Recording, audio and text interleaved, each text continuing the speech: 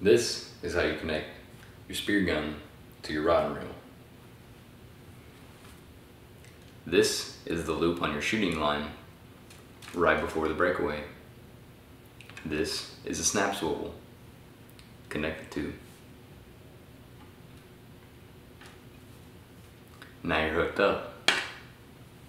The rod and reeler is going to want to lower the drag all the way down so that the diver can swim with the gun.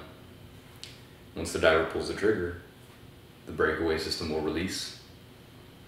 The fisherman will have full control of the fish and you will crank the drag back up and start reeling, baby.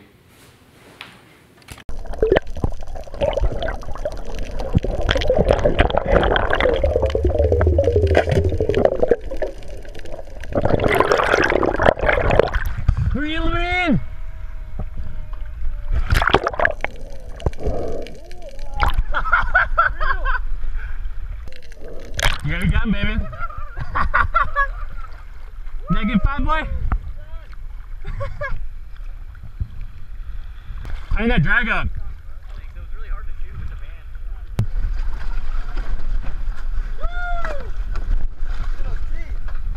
Ha ha ha!